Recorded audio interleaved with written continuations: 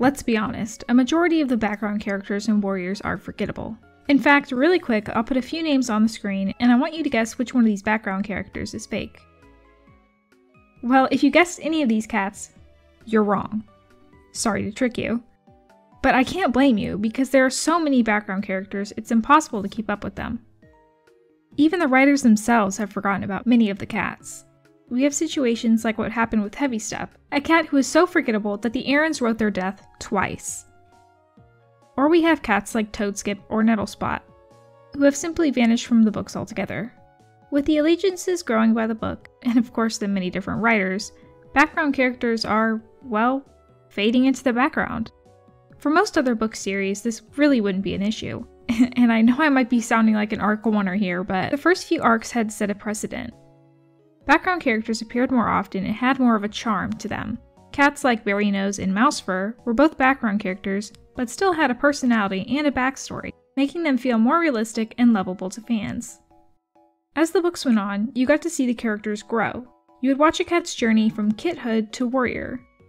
However, as the clans got larger, cats began to become nothing more than an extra name filling the allegiances. Looking at the newest book, ThunderClan alone has 44 cats. For reference, ThunderClan in Into the Wild has 25 cats, including the few that die at the beginning. Sorry for the spoilers. I don't even know how the territories can fit so many kitties. Not only have these large groups of cats become an ongoing joke within the fandom, but they've sparked a movement. A Tumblr user under the name of Cat Soap Opera, also known as Bugmeats, posted on January 20th, 2022, a thought asking if it would be possible to convince the fandom to believe in a character who didn't actually exist because, as we know, Warriors fans don't read the books. A few other users replied jokingly they could even convince the writers that a whole new character existed, just by posting about them. People thought this was an interesting point and decided to try and gaslight, in a way, the Erins into believing the character's existence. The original poster got to work immediately, grabbing some common prefixes and suffixes and putting them into a wheel. Cloud and Snap were both chosen, so Cloud Snap ended up being the name granted by StarClan. You can't have a name without a face though, and a simple design as well as a clan was given to this unofficial background character. Cloud Snap, a small RiverClan warrior with striking amber eyes, smooth, silky white fur, and a dark muzzle captured the hearts of Tumblr users, as posts started to flood the warrior's side of Tumblr. However, a name and design wasn't enough, as users wanted to create more about this character to make them seem like a legitimate background character. The wheel was spun again, and an actual background character from the books was chosen as one of Cloud Snap's shipping partners. Cloud Snap was also given a basic personality at the request of some users. The original poster used all the information to create a frame for Cloud Snap and allowed anyone to add whatever they liked to the character. Now that the basic information about Cloud Snap was established, people started to run wild.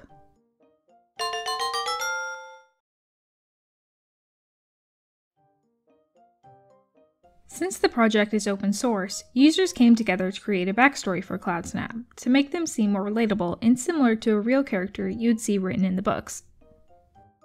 People even started to go as far as post discourse and errors in the books involving Cloud Snap, which I think is super funny. Anyways, Cloud Snap's story goes like this.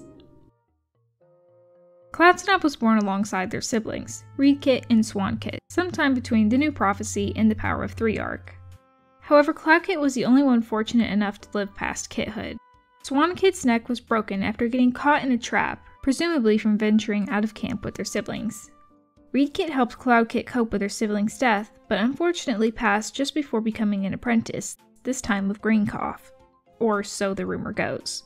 Just as a side note, one main area of debate is Cloudkit's siblings, as some sources say that the Erins forgot about the pair of siblings, so they simply faded away and that the two siblings' death is actually a popular theory that originated from a fanfiction.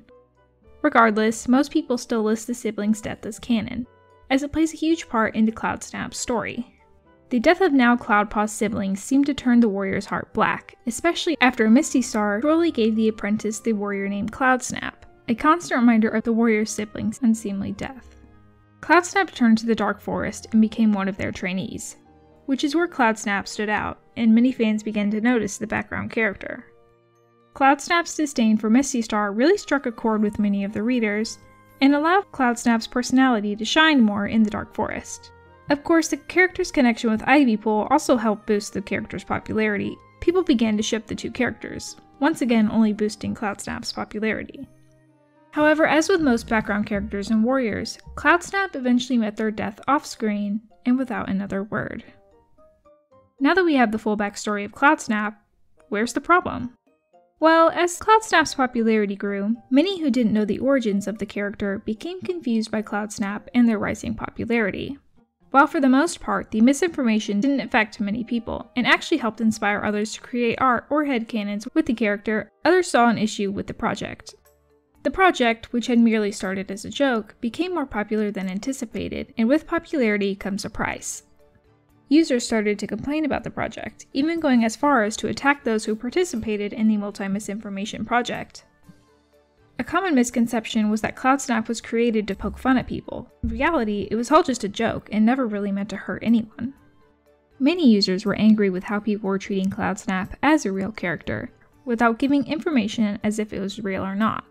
One common argument was that CloudSnap's existence could potentially cause harm to those with psychosis or memory issues. CloudSnap's creator, Bugmeats, was very proactive with this issue, and early on within CloudSnap's creation asked people to tag their posts, as they would be doing so as well.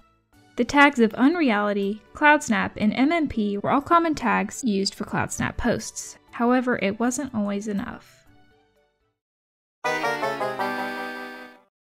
The tags were just the tip of the iceberg when it came to controversies surrounding CloudSnap. I'm not a Tumblr user by any means, but from what I understand, the main purpose of tags is to be a filter and to add any extra information to posts the original poster might not have added in the main post. As well as being used for the search bar in Tumblr, it's also the postscript memo at the end of each post. Or I guess to better match with what my audience might know, it would be the author's note. Now, many users were angry that people weren't tagging posts, leaving many to become confused as to who CloudSnap was. CloudSnap's creator, Bugmeats, was the main target for a lot of this hate. The hate was unjustified, as early into CloudSnap's existence, they had tagged their own posts as well as asked people to tag their posts involving CloudSnap. Yet people would hold them responsible for others not tagging their own posts. Even when asked who CloudSnap was, Bugmeats would explain how CloudSnap was a fake character and still reminded people to tag their posts accordingly.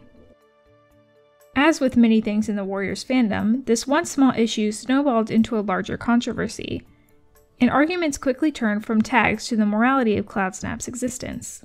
Arguments as if it was the poster's responsibility to inform others of the legitimacy of CloudSnap started to arise, as well as the actual harm, if any, behind these posts.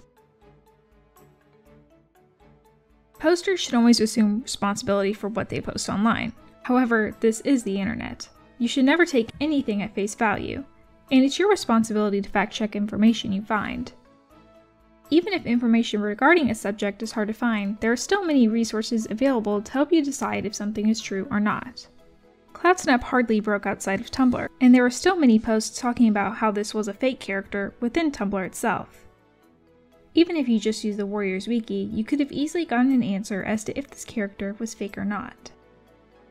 And if you're unwilling to search, or unable to come up with a conclusion, and seeing these posts was triggering, many users often suggested simply blocking the tag.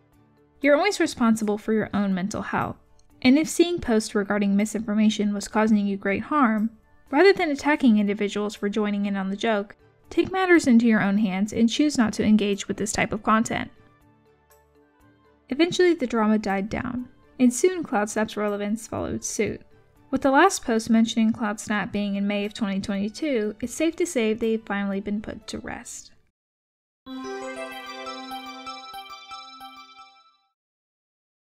At the end of the day, the CloudSnap project didn't make it very far. Though fan art, a playlist, and even a fanfiction was made with CloudSnap in it, they hardly burst through the Tumblr bubble. But that doesn't mean the project was a failure though, as CloudSnap could have easily reached the eyes and ears of Erin Hunter, and who knows, maybe one day we'll see them in a book. But I want your opinion. Do you think that CloudSnap in any way was a harmful creation? Let me know in the comments. But for now, thank you for watching and have a good one.